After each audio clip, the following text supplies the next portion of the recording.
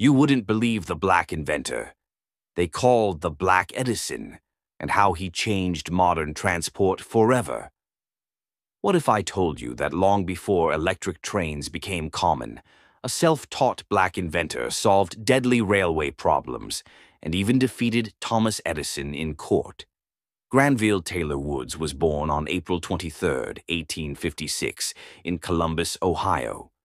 Forced to leave school at age 10, he worked as a railroad laborer, machinist, and blacksmith.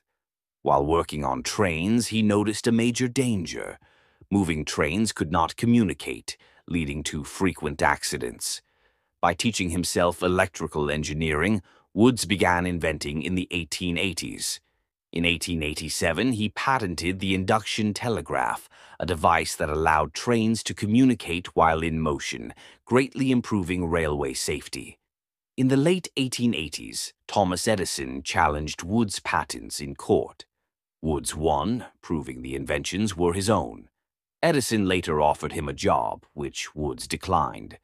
Between 1884 and 1907, Woods earned nearly 60 U.S. patents, including electric railway and third rail power systems. In 1890, he patented an electric railway system that influenced modern subways and electric transit. Some of his systems were demonstrated in New York, including early electrically powered track applications.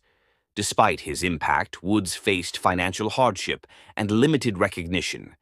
He died on January 30, 1910, at age 53.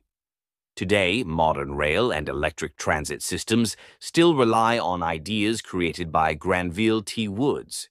The inventor history calls the Black Edison